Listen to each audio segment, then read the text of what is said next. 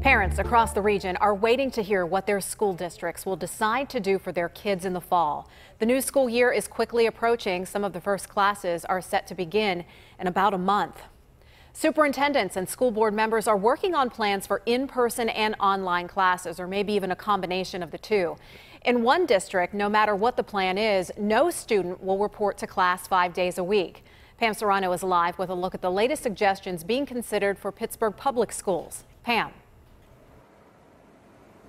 Kim, how do you educate 23,000 students within Pittsburgh Public Schools, all with diverse needs? There are so many complexities, but one thing is for certain no student within this district will be in a traditional school setting 100% of the time when the school year begins.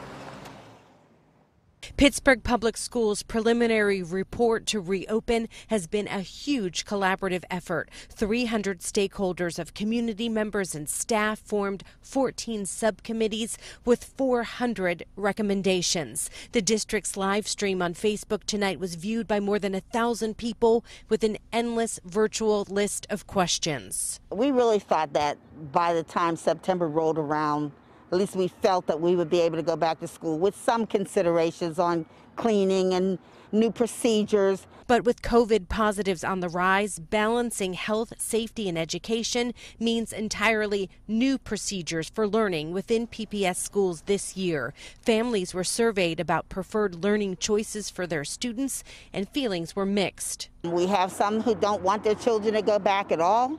In fact, some 700 students already registered exclusively for online learning. The district says in order to make learning safe for everyone, they've come up with the following proposals. One is for families to choose exclusive e learning instruction, a hybrid plan of both e learning and in school learning, where students would be scheduled for select days in school to limit the number of students in buildings. Also, an exclusive online learning plan may also become necessary.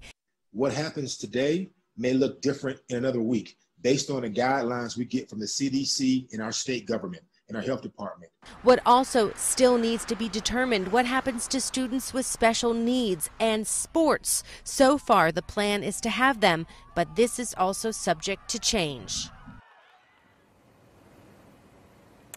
Now, all of this is not without withstanding mask wearing and, of course, cleaning protocols as well. The safety proposal will be voted on by the school board on July the 22nd, and we will bring you those results. Reporting live on the north side, Pam Surano, KDKA News.